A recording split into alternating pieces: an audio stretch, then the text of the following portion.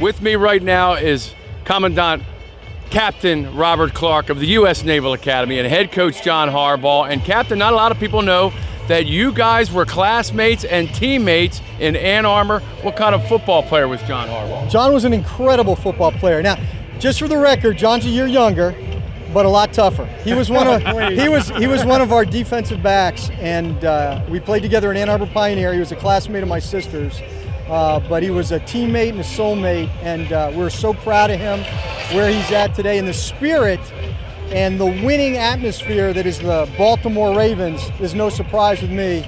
Looking back on my time with Johnny.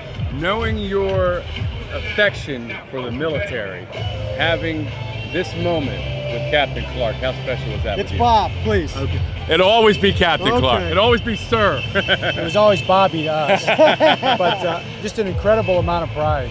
You know, just an incredible amount of.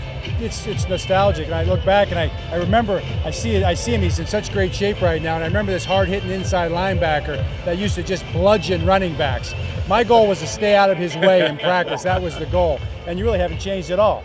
You look exactly the same. John's very kind, but see, if we do the hat test, he would pop his. He looks the same. I, on the other hand, I'm follically challenged right now.